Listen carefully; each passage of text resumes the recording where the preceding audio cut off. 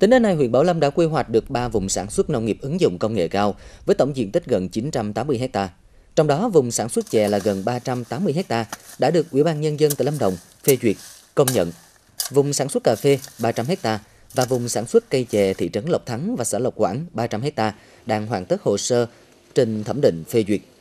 Về tái cơ cấu và sản xuất nông nghiệp ứng dụng công nghệ cao trên toàn huyện đã phát triển được hơn 4.400 ha cà phê, 1.620 ha chè, 993 ha cây ăn quả, 650 ha dâu tầm. Việc tổ chức lại sản xuất, phát triển các liên kết giữa nông dân, tổ hợp tác, hợp tác xã và doanh nghiệp trong sản xuất gắn với tiêu thụ liên kết theo chuỗi giá trị sản phẩm được ngành nông nghiệp chú trọng và phát triển mạnh mẽ.